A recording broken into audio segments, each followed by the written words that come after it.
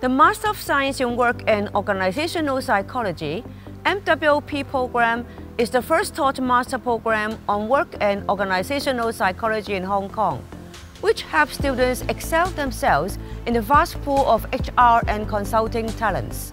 The program exposes students to both theoretical and practical scientific research with a focus on occupational health and well-being.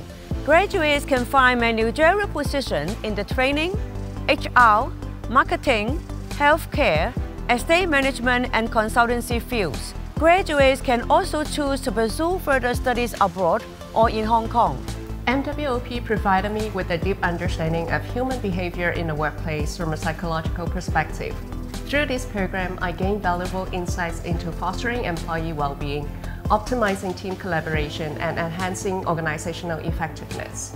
Thanks to MWOP, the knowledge and skills I acquired in the program have equipped me to navigate the changes in the complex business operation, unleash the full potential of the workforce, and contribute to the success of the organization.